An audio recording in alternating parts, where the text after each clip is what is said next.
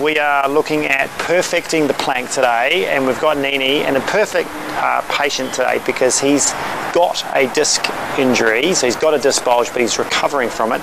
And so he's at the stage where he can do planks but he's got to do them correctly so he doesn't stress his back out. So we're trying to build a core for him, trying to get his glutes going and a plank is a very important component for that. Um, it gives you that brute lifting strength and abdominal strength in the front and it's safe to do when you've got a disc injury at this stage. He's basically pain free, um, he's got great extension, he's got good flexion so we can do a static loading plank for him today and no problems. He was doing it on his knees so if you go to the one on your knees so he was doing a plank on his knees, down his elbows for me, Nini. So for him, what he wants to do, he starts on his elbows and he comes up and he's just got to lift his bum up into there. Now, obviously you want to perfect your knees plank before you go onto your feet because there's a lot less load, it's easier to hold, you can get more endurance.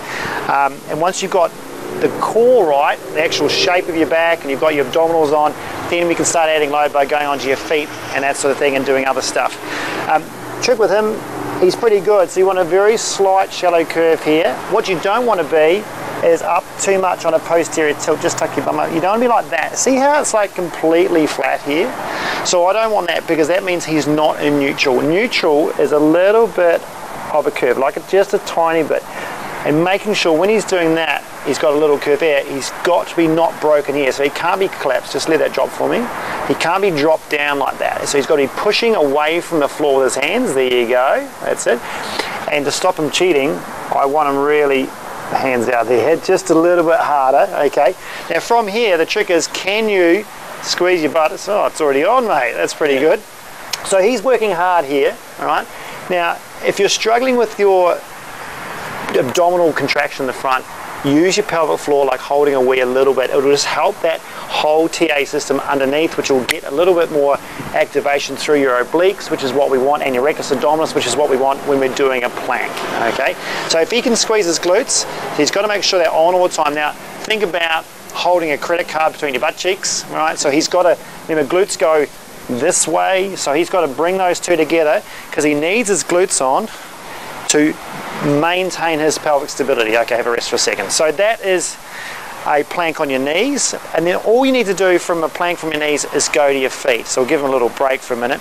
Um, but when you go onto your feet, you've got to make sure that your glutes stay on, okay? Otherwise, if your glutes aren't on, you're putting a lot of demand through your lower back when you do a plank, and we want to make sure that we're not doing that. So go onto your knees again, up we go. So we find our neutral spine, that's pretty good. He needs to switch this on here. And remember, in a plank, it switches on anyway. You just got to make sure that it's doing it correctly. And then all he's going to do is dig his toes in and straighten his knees. So he's really got to switch his quads on here. And he's got to clench his butt cheeks together hard and keep this up here, push this higher, make sure his head's in a line. You imagine like if you had a dowel rod, you want to go all the way through here perfectly. Now you can see by his shirt he's shaking a little bit. That's good, okay? That means he's working hard. But what you should be aiming for is making sure everything's on. So quads, glutes, abdominals, pushing away from the floor. Go a bit higher for a minute. There you go. And now he's going to do a little bit of lats as well. So then pulling your shoulders down a bit. Bring them down. So he wants a little bit of lat on, all right? And that way he's working his whole system, not just his abs, all right? You want a plank to work in the whole system in one unit and it's static. And of course, as he gets better and progresses, he'll be doing rotations. He'll be going from a plank to a side plank, which is down further in the program, which is a lot harder, and trying to maintain that whole stability of his spine while he rotates. He's doing pretty well for a disc injury, I must say. All right, have a rest.